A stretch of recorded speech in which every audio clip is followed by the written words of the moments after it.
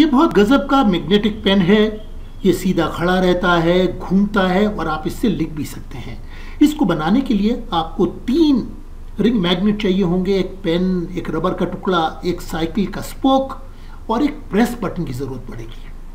सबसे पहले आप साइकिल स्पोक के एक सिरे को एक छोटे से चौकोन के अंदर मोड़ें। ये वो टेक बन जाएगी जिसके ऊपर आप दो चुंबकों को रख पाएँगे।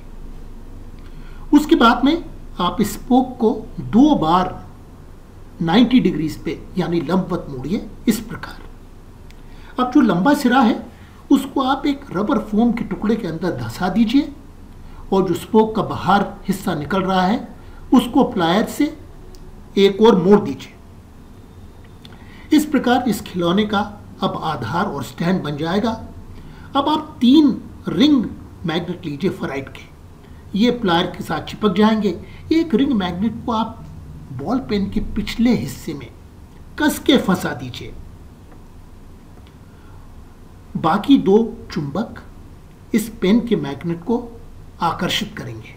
फिर फोम रबर के अंदर आप थोड़े से रबर के गोंद से एक टिच बटन या प्रेस बटन को धसा दीजिए। आपको यहाँ एक गड्ढा दिखाई देगा। अब ये जो दो चुंबक हैं, इनको आप स्पोक के ऊपर रख दीजिए।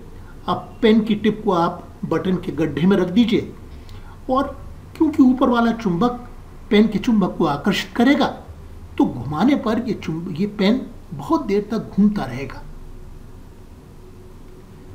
अब ये देखिए, इसका बहुत सुंदर एक क्लोजअप व्यू है।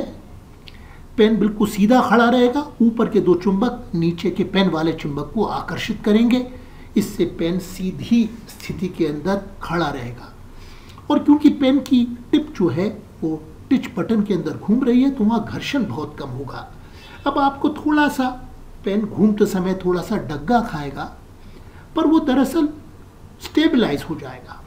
आप देखिए, इस पेन को घुमा सकते हैं, आप इस पेन से लिख सकते हैं और लिखने के बाद में वापस दोबारा उसको पेन स्टैंड पर खड़ा कर सकते हैं और दोबारा घुमा सकते हैं। कितना मज़ेदार खिलौना है। अब आप एक कार्डशीट का पंखा बनाइए, उसके रीफिल को ऊपर के दोनों चुंबकों में पिरोइए और रीफिल के सिरे को पेन के पीछे टाइट फिट कर दीजिए।